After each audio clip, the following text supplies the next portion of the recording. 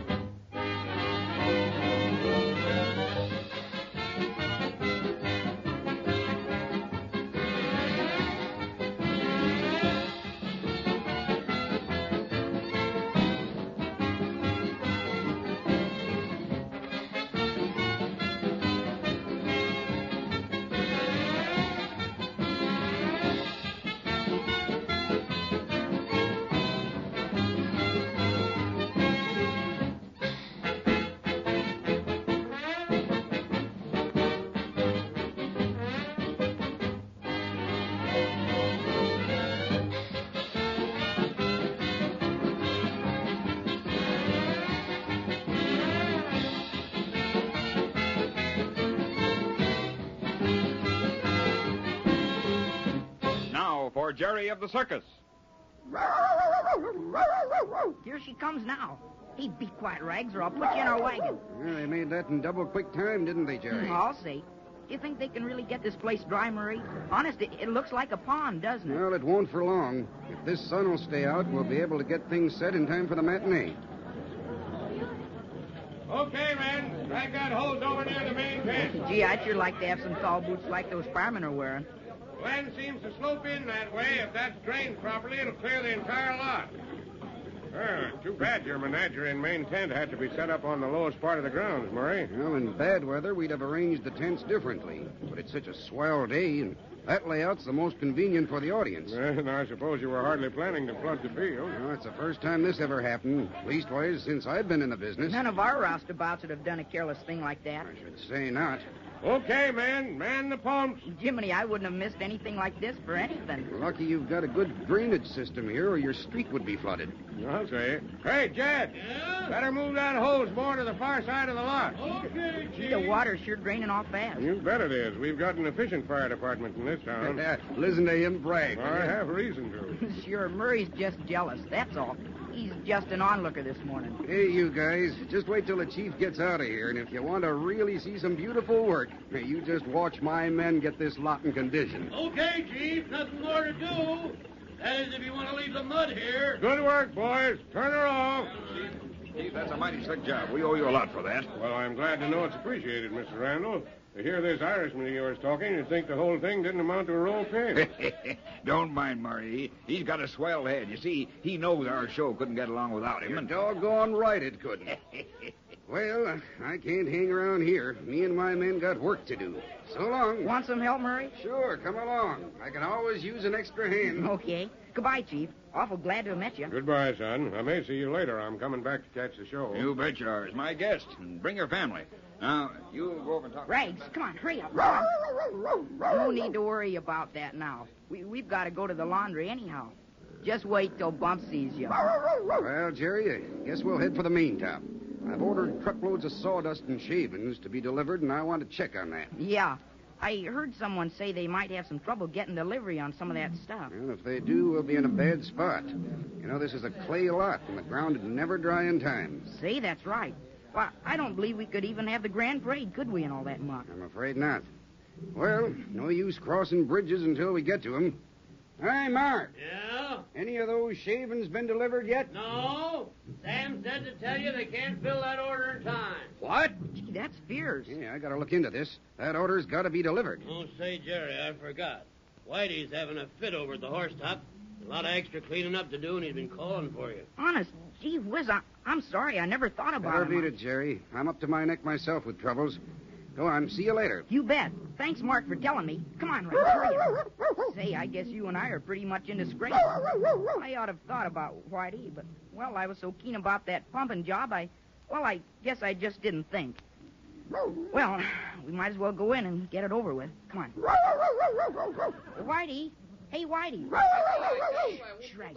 We better wait. No, it is ridiculous. Oh, but Boris, Boris, I've always done everything I could for your horse. No, you have not. Because they belong to me, and not to Mr. Randall. You think you can neglect them and... That's not true. After all, Boris, uh, all I'm supposed to do is see that they have the proper food supply and accommodation. You have your own men who groom them. Bah, so now you try to lay the blame on my men, eh? There's no blame. I'm simply telling you that uh, your contract with Mr. Randall uh, says that all we're supposed to do is to furnish the proper food in each town for your horses. Yes, and- that is it. So, do you think they get the proper food, eh? Of course, they get exactly what you've ordered for them in every town. It is not true. Today they did not get the proper rots. Huh. I shall go to Mr. Randall with this, and you shall be discharged. Now listen, Boris, be reasonable. After all, that fire plug that flooded us out this morning caused enough trouble. Of course, it would get the oats all wet, but after all, accidents will happen. Our horses will have to go without their oats today, too, but there's plenty of hay. And... Hey, hey, hey, bah, who cares about hay? When my contract calls for oats, my horses must have oats. Oh, now, if you'll just keep calm, Boris, I'll see what can be done about it. After all, you know, you've got to be reasonable in an emergency. Emergency. huh. And while we're on the subject, it seems to me that my horses haven't been bedded down properly lately. Your grooms have been given everything they've asked for. So, that's what you say. I hear a very different Okay, story. okay. Okay. If you feel that way, go on and talk to Mr. Randall. After all, my horses represent an investment of thousands of dollars. For years, the Russovs have slaved that they might own the finest horseflesh in the world. Yes, yes, I know. You've got beautiful animals, Boris. And so you cannot blame me when I see them being neglected, and my investment subject to, to possible destruction. Now, Boris, you know your horses are in no danger. of- I am not so sure. And Stan, the head groom, says he thinks the boxcar should have heavier padding. After all, in transit, I can afford to have the shins hurt. Or... I'm afraid, Boris, you'll just have to take all this up with Mr. Randall. Yes, you are right. That is just what I will do. I will no longer stand this ridiculous neglect and carelessness. Yes, yes, I will make my complaint to the. All right, all right. Goodbye, Boris. Goodbye. Oh, oh he- hello there, Jerry. Well, I didn't see you. How long you been standing there? Quite a while. Mhm. Say, Whitey, I, I'm sure sorry I didn't get over here. Gee, I didn't realize you were in trouble. I say, I thought I was in enough hot water until that Boris came complaining around. He certainly can be a nuisance. But the way he talks to you, Whitey, that's awful. Oh, I ought to be used to it by now, I guess. Uh-huh.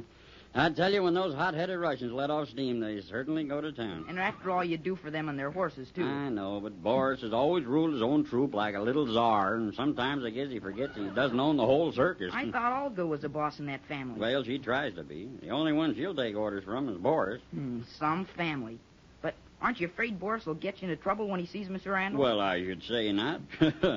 Randall understands the situation. After all, I've worked for the boss for years. He knows I'm okay. he oughta. Uh, hey, here we are staying and talking with enough work on our hands to keep us busy till matinee time. Jerry, we've, we've got to get the mud off those horses and any of the trappings that got splattered during that flood. Okay, Whitey. I'll polish those horses of ours so, well, even you won't know 'em. Now, that's the ticket, Jerry. Now step on it, and we'll be through in time for lunch, maybe. What do you mean, maybe? I thought that'd be a good way to speed you up a bit.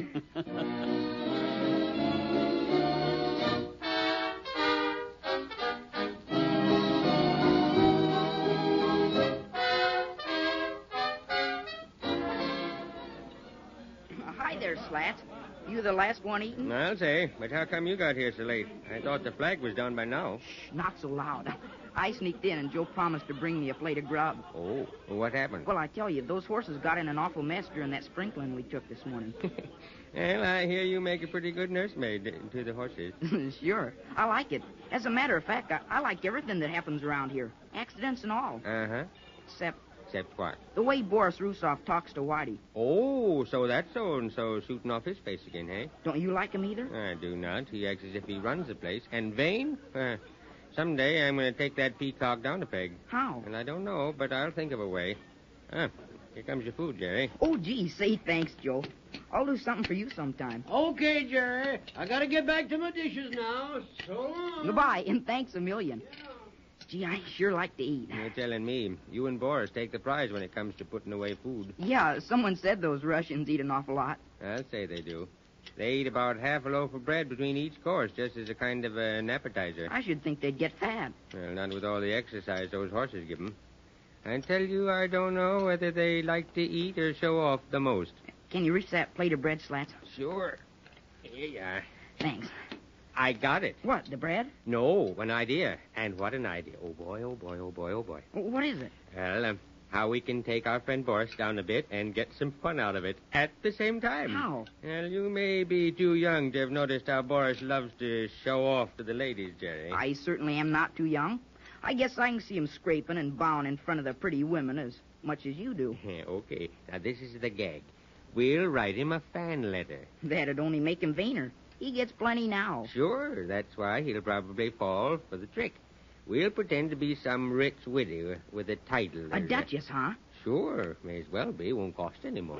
then, after we've told him how wonderful he is, we'll ask him out to dinner. Then he'll find out. you just uh, hold on your horses.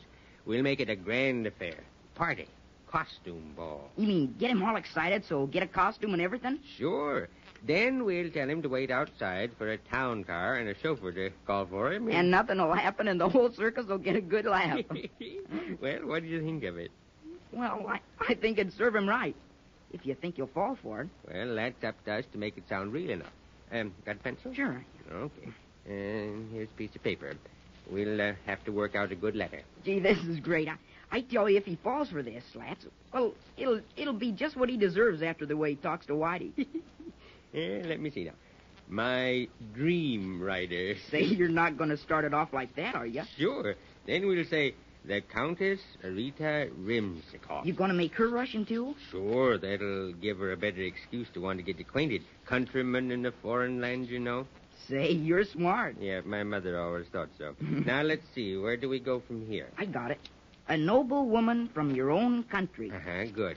A noble woman from your own country wishes to thank you in person for the brilliant and skillful riding which takes her back to the years when she was at court and the Cossacks of her own country gave special performances for the Tsar. Tonight I am giving a grand costume ball at my estate.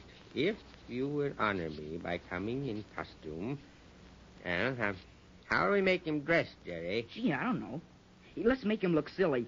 What about uh, dressing him up like a kid? It'd sure be a riot if he'd fall for that. Yeah.